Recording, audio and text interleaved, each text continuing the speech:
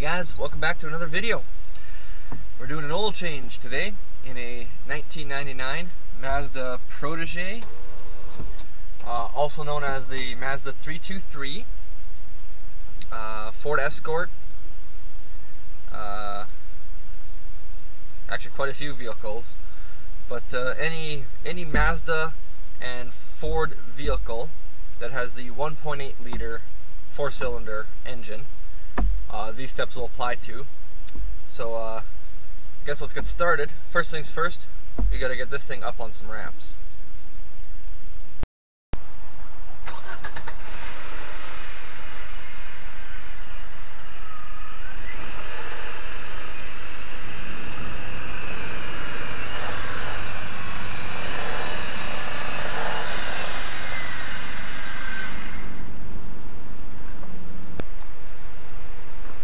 Alright, now that she's up on the ramps, we have to open up the hood, which, there, a little hood release valve or button right there, and then, place it down, gonna grab the prop rod, place that up as well. Now, first things I always like to do when I'm changing oil, I loosen up the oil filler, uh, filler neck. And I'll always check the level of my oil. So let's place this tripod down, pull out the dipstick, wipe it off.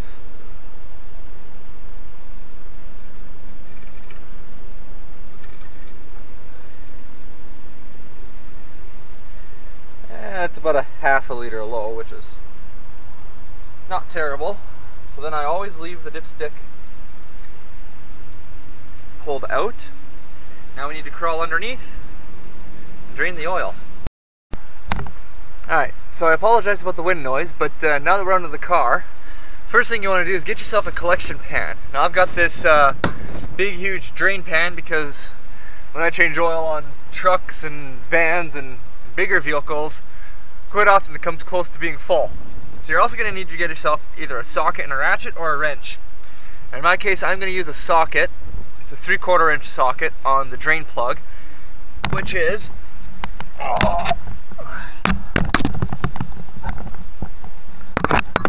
get you guys underneath here. Get this light on. It's this guy right here. So I like to use this saw, this ratchet when I do drain oil changes because I can extend it to get more leverage on uh, on drain plugs that are pretty seized. This one shouldn't be. Yeah, no, that one's pretty easy. There. And then just uh, pull this out and let it drain. There we go. Uh, the soil's looking pretty dark. Doesn't uh, seem anything wrong with it though. Doesn't smell bad. There's no metal flakes in it. So it's all good.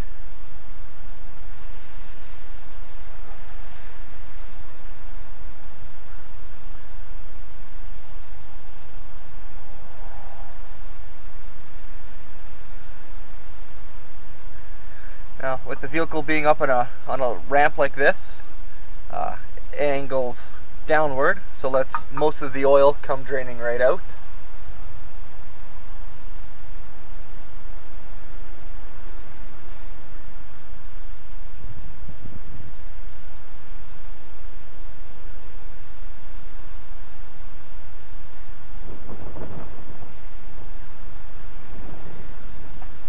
So we're just gonna let that drain. We'll come back when she's done uh, done drifting.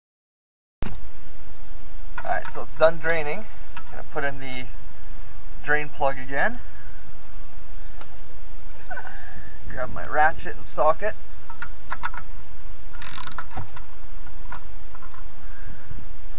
And I'm just choking up on the socket on the ratchet right near the head so I don't over tighten this. Give it one little snug. There we go.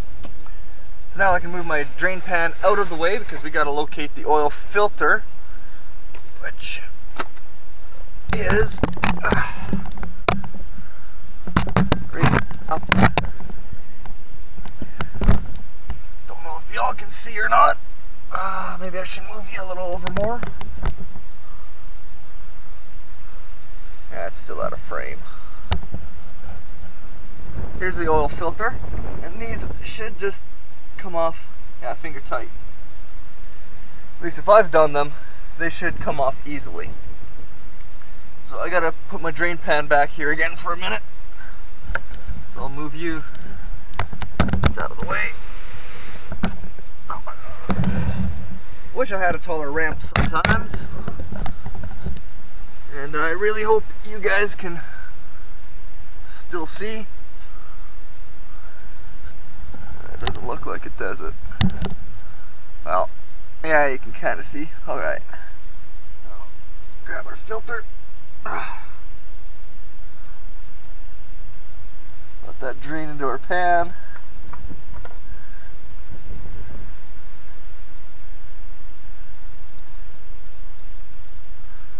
And this I usually just leave in my drain pan as it's got a set of notches for an oil filter somewhere in here.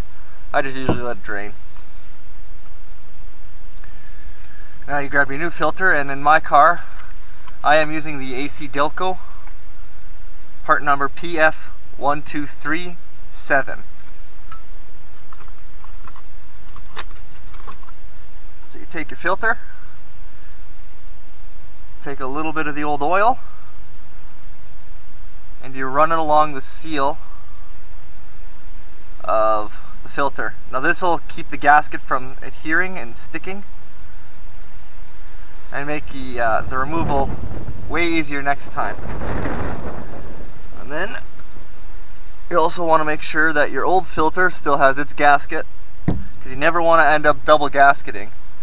You do it, you'll get a leak, guaranteed, without a doubt. So filter goes on.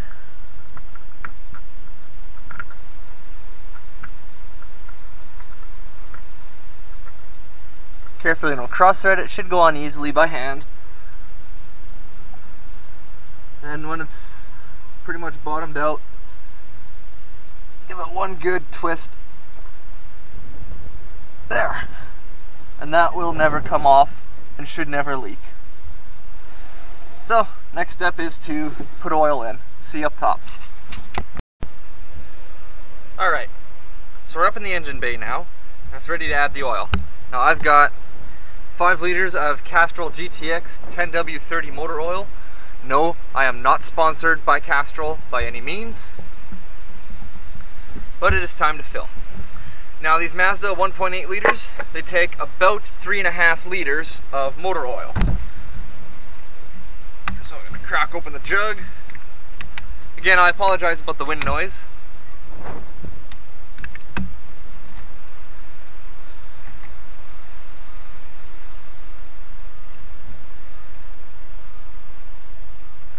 Sorry, I'm just piercing the tin foil on the on the jug here. In fact, let me move the camera. So you want to be careful when you're opening these. You do not want to drop any of this tin foil uh, into the jug because you do not want to get it in the engine at all. If you do, uh, get it in the jug. Just carefully dig it out. There.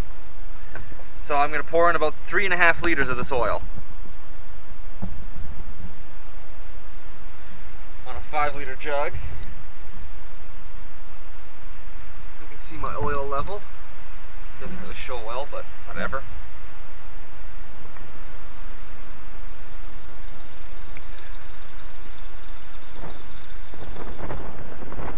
Let that drain down.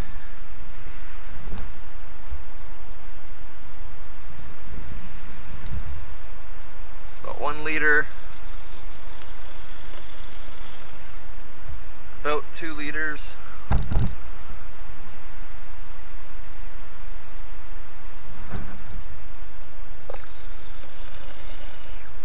Got about three liters of oil in there.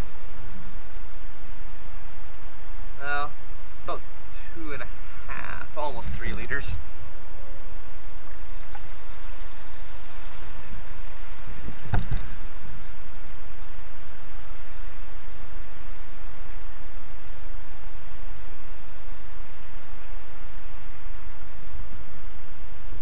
Sitting about a liter and a half left in my jug. That should be three and a half liters then in the car.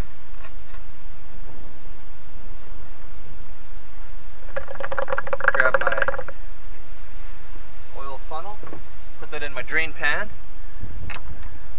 Close this up for a second. Now with your paper towel, you want to check your dipstick. Now I know the vehicle's up on a ramp right now, so it's to read a little incorrect. Just, you know, gives me a, a rough idea of where I'm sitting at. Now it says I'm a little above full. Now, like I said, I'm on a ramp right now, and we haven't ran the car for the oil filter yet.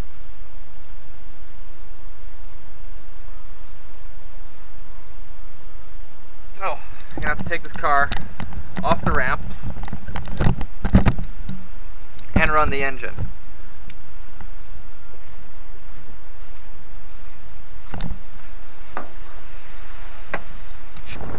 I guess we'll do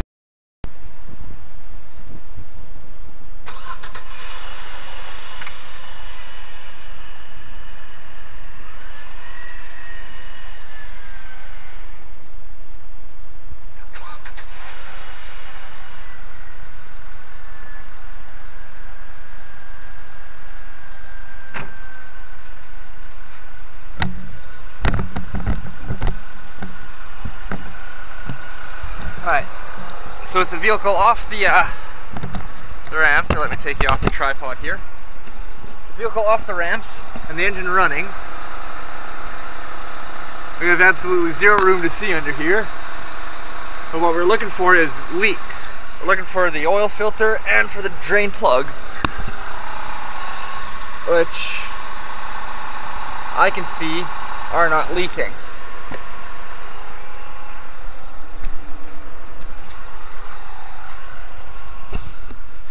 Now, on some vehicles, you'll have, let me hop back in here. Some vehicles have an oil pressure sensor that uh, show your actual oil pressure. This is just engine temperature, fuel uh, gauge, tach, and speedometer. So it doesn't show any actual um, oil pressure, but I'm going to give the engine a quick little rev.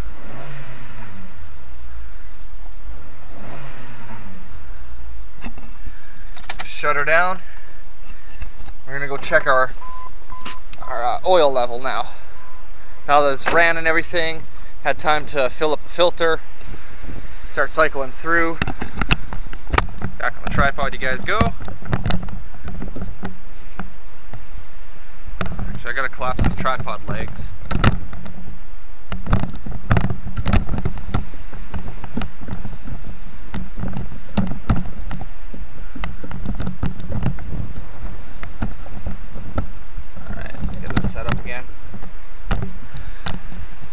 You want to check our oil level now. Let's wipe off the dipstick.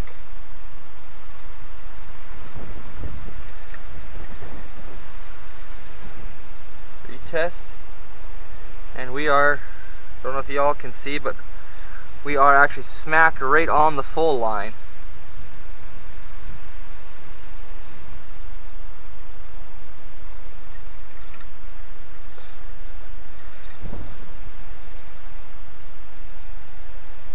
That'll focus or not. Yeah, it's right up on the full line. So, there we go. That part is all done. Alright, so you've changed your oil. But now what? Now you've got a, a waste bin full of oil. So what are you going to do about that? Well, very simple. I always keep these empty five gallon or these uh, five gallon buckets from Napa and I save my old oil.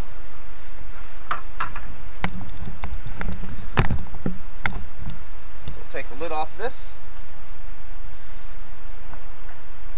And I got a salvage yard that's real close by to me that recycles oil for nothing. They do it for free. Throw my filter into my funnel for now. lay my funnel on the lid so I don't contaminate that. Simply just pour my old oil right into this jug. When it gets full, I take it off to get recycled. Actually, I've got two of these Napa ones for oil, and I've got uh, one empty five gallon bucket I use to save my oil filters in.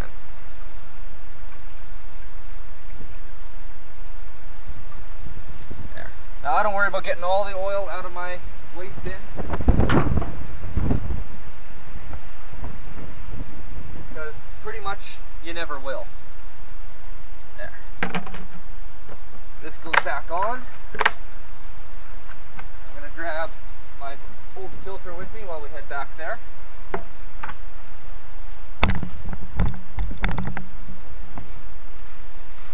So you never ever want to just put the oil into an old bucket and then throw it into the garbage.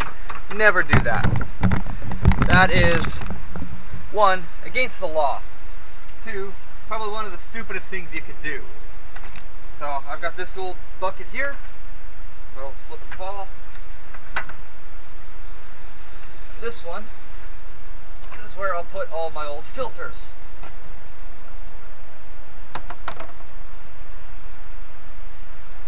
Mm, nope, that's gear oil. Oh no, maybe that's not. Nope, that is.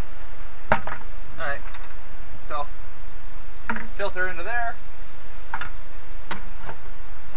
lid on, keeps it from filling up with water, and that's it. Really all that's left now is to clean up all your tools, put them away, minus one extra step. I need to get uh, box. Ah, there's the old filter box. I'll step back in the car for a minute. Alright, so now that we've got uh, everything done, I like to take my, my old filter box and I'll usually just rip off a piece of the cardboard and you want to look at your mileage. Now I like to change my uh, my oil every uh, anywhere between four to five thousand kilometers. So I don't know if y'all can read that, but I'm sitting right now at 26,115 kilometers. Uh, you know that 15, whatever. I'm not going to mark that down because I try to change it every on every even. Uh, so my next oil change will be due for 26,000 or two or 26,000. Sorry, this has 261,015 kilometers. I'm going to change the oil again at 266,000. So I'm going to grab my piece of paper. Now, it's hard to do that one-handed, so put you guys back down. I'm just going to write the uh, oil I used, which was uh,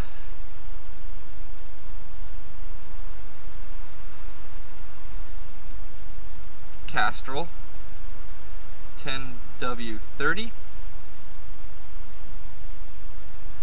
Uh, it took 3.5 liters, so 3.5 liters oil. The oil filter I'm using is the AC Delco PF1237. Now, because I'm using the old filter box, I don't have to write that down, but I am. PF1237. 1237 from AC Delco.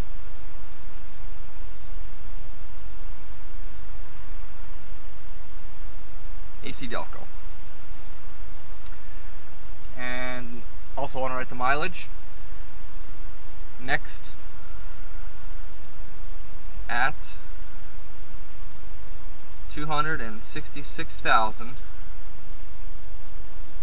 kilometers. And then put this somewhere safe.